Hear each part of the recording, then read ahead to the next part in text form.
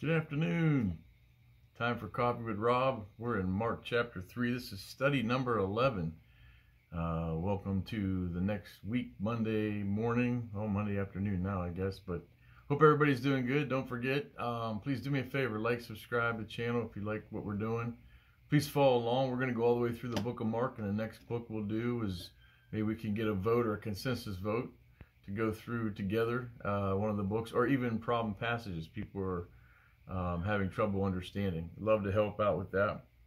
So we're in Mark chapter 3, verses 7 through 13. This is study number 11. Um, we already know that uh, the plot is out to kill Jesus. The Pharisees have plotted with the Herodians against Jesus Christ, so he knows the plan. He knows the full plot at this point. And so he withdraws. In verse 7 of Matthew, excuse me, Mark chapter 3, verse 7, it says, Jesus withdrew with his disciples to the lake. Now, this lake is obviously Galilee. He's in the Capernaum area, Galilee area. And um, he has his disciples. So remember, Galilee, Lake of Galilee, Sea of Galilee, uh, Sea of Tiberias all refer to the same body of water uh, in northern uh, uh Israel. So, uh, and a large crowd from Galilee followed him. Why? Because they had heard he was doing uh, many things, many miracles. So many, this is interesting. You see this here a few times uh, a large crowd, many people, and another crowd. It's used very uh, about four times here. That there's a large amount of people call, uh, following him. I think the Greek word here is like plethora or plethro, which we use to have like uh, many opportunities or many things like I don't know in a basket or something like a lot of things, a plethora of things, a plethora of ideas, many ideas. So many people, a plethora of people when they heard what he was doing. They came to him from Judea, Jerusalem, Idumea, and the regions across the Jordan. His fame is spreading, not just from Galilee, where he was, not just near Jerusalem, not just near Nazareth, but his fame is now spreading countrywide. The crowds are beginning to follow him. The word is out that there is a man speaking with authority. There is a man uh, doing miracles. Uh, there is a man who claims to be the Messiah. So this is big news. He is like a big celebrity. And so people are following him and crowding him as if Michael Jordan just walked in the room or LeBron James or whoever it might be, uh, some famous individual. Uh, I guess Taylor Swift is huge. So here, here she comes, here they come, here come these famous people, and the crowds are crowding around them. Typical of today is was the same back then. Here comes Jesus. So many people came up to him from all the country and across the Jordan from Tyre and Sidon. Because of the crowd, he told his disciples that this is interesting because he was usually walking around the towns, walking around the lake, and people were following him. But this time, it's a little different. In Mark chapter 3 here, it says that he had to have a small boat ready for him because as the crowds pressed in, he had to get away from them, get in the boat, and push offshore just a little bit so that the crowds wouldn't attack him. That's really what's happened. It's like the paparazzi's trying to attack him. So I looked up some of the words. The word in um, verse 9 here is uh, thipeto, the crowd. Thipeto, what they wanted to do was seize him violently and hold on to him, which is typical of a big star. Now, this is obviously Jesus Christ, the Messiah but it's very similar to somebody very popular, very famous walking through town and people becoming uncontrollable. I would say probably like Elvis Presley.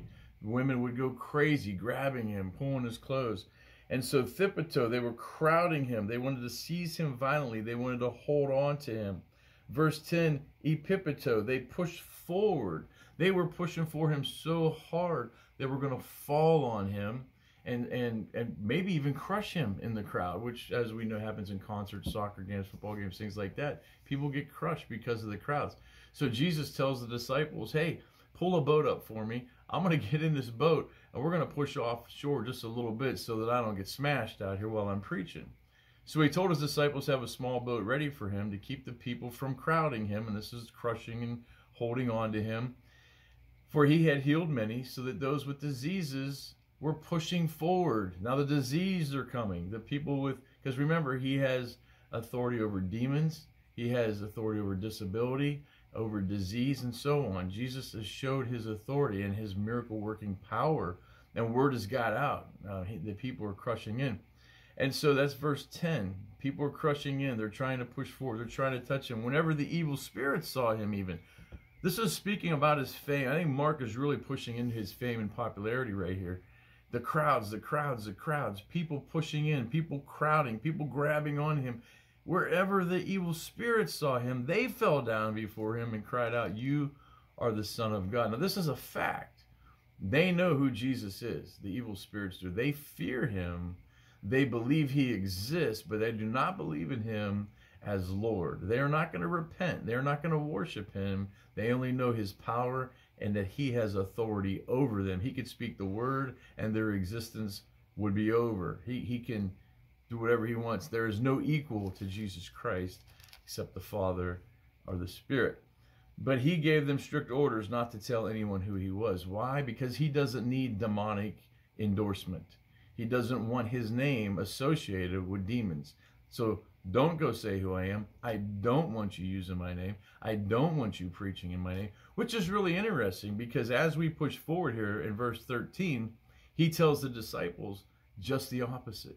He tells the demons, don't go preach in my name, but he's about to tell the apostles or disciples to go preach in his name. So that's pretty interesting. So as we go from verse 11 and 12 after he tells the demons not to preach in his names, he says that Jesus went up on a mountain in verse 13 and called those he wanted. So he just tells the demons, You cannot preach in my name. Do not preach in my name. But then he sends out this equivalent of, and you can quote here if you want, uh, royal summons. He summons those that he does want to preach in his name. He just told the demons no. Now he pulls in the 12 apostles, very specific. He calls them in and gives them the authority to preach in his name. He calls those who he wanted. This is the royal summons. He's calling him in. The king is calling in his men. And they came to him. And verse 14 says, He appointed the 12. And the word here, I looked this up, poieo, is mean he created something new. This is the first time you're going to see the apostles, the, the, the office of apostle. We have prophets. They all talked about the Christ that was to come.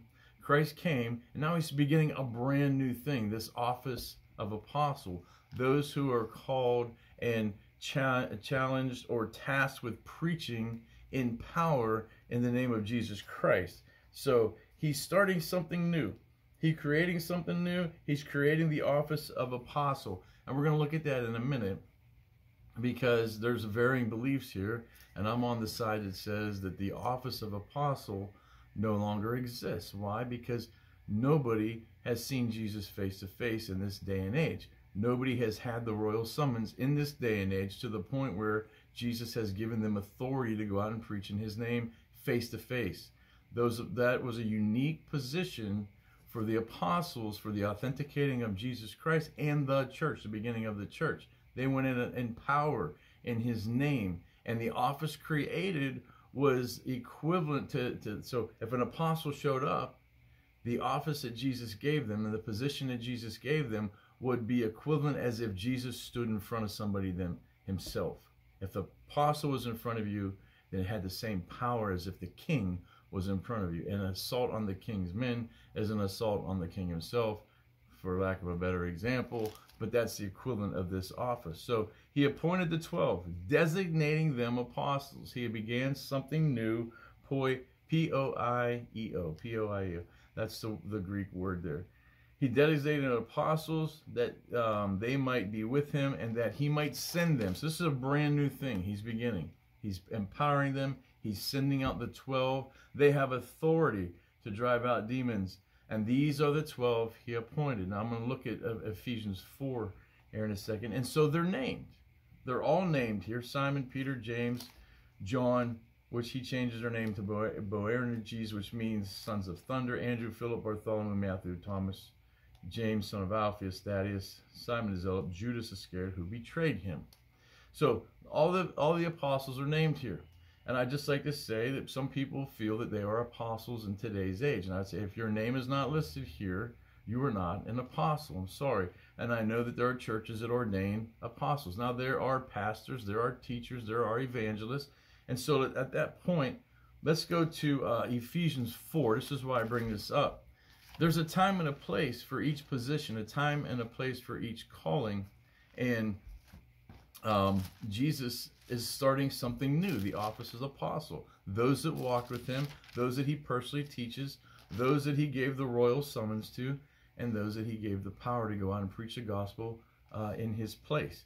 And so we see here in Ephesians 4, um, Ephesians 4.11, uh, well, let's go to 4.10 just for a minute. He who descended is the very one who ascended higher than all the heavens in order to fill the whole universe. This is speaking of Christ. He came down to the earth, and while he was here, it was he who gave some to be apostles, some to be prophets, some to be evangelists, some to be pastors and teachers to prepare God's people for works of service so that the body of Christ might be built up until we all reach, remember, key word, I've talked about this before, unity.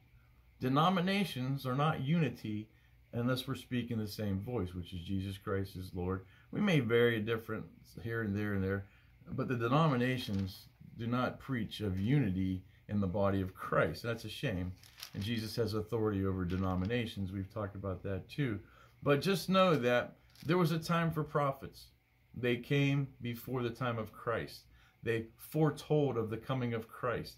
They were empowered to do even miracles at the time when uh, before Jesus came. He did things through the prophets.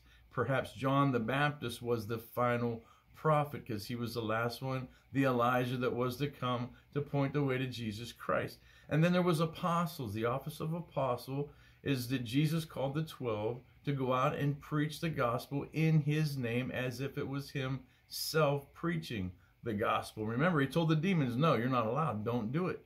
Don't speak in my name. You're not an apostle. You're not speaking my name. But these apostles are empowered to speak in the name of Jesus Christ. And then that's gone. That office is over. It's gone. It's past.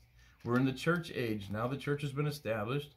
Um, Jesus Christ being the cornerstone, the apostles being the foundation. And now the carry on of that office or a similar office would be pastor, teacher those that preach and teach in the church. Those that are called by God to uh, facilitate church um, church business, excuse me, for lack of a better term, to pastor the flock, to pastor people, to be a teacher to those that need to hear the word of God. I said this before in one of the other Bible studies that the bloodline of the Christian today isn't the music, it isn't the entertainment, it isn't the building, it's the word of God. So that that position of pastor teacher is extremely important in this day and age. So you had the prophets, you had the apostles, and now today we have the pastors, teachers, and even evangelists who travel around the world preaching the gospel. So Billy Graham was an evangelist. Uh, wasn't much of a as a pastor because he didn't stay to care after the flock. He preached the word. He brought people to salvation, and then the pastors and teachers would come in and should have followed in his footsteps, so to speak, and taken care of the flock. He would go on to the next venue. So that would be an evangelist to bring everybody into the unity of the faith. So I wanted to look at that today. That's where we're at. Jesus in Mark chapter 3 has told the demons, You are not allowed to speak in my name, and then turns right around in verse 13 and 14 of Mark chapter 3 and appoints the apostles and gives them authority to speak in his name. Jesus' popularity is huge. He's growing in popularity. He's doing great things. People are starting to realize this man's different. What's going on? And now he has 12 men empowered to continue his work even after he's gone and to uh, grow and establish the church in his absence. So I hope everybody has a great day. Thank you for joining me for uh, study number 11, Mark chapter 3, and we'll begin tomorrow and continue on to study 12. Have a great day.